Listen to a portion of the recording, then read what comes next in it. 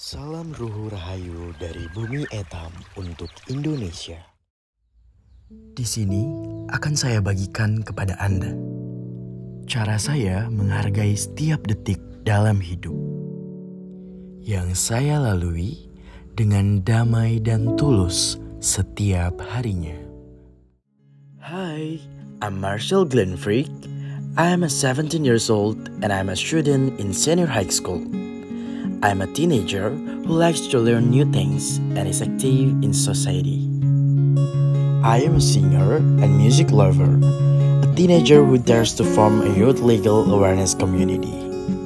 Becomes a speaker about juvenile delinquency and promiscuity, as well as a voice for legal protection and the rights of disabled children, and most importantly, a genuine human being. For me, life is like a journey full of mystery, which makes me always try to appreciate every challenge and process with full of responsibility, which result in a gift that I call self-maturity.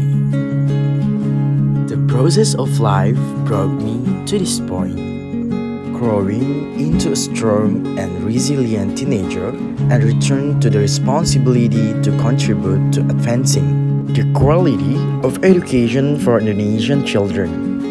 With Kita Edukasi, Kita Inspirasi, I will bring Indonesian children to Indonesia Emas, Indonesia Cerdas. And enjoy a quality of education.